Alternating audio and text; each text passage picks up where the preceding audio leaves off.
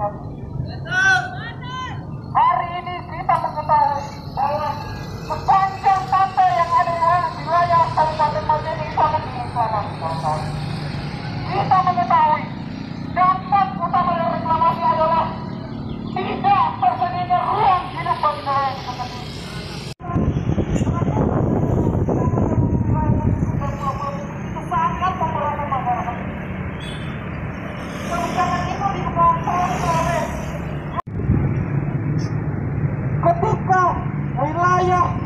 bagian itu direklamasi, maka kita akan menemukan suatu kecenderungan bahwa na akan naiknya harga ikan bawang.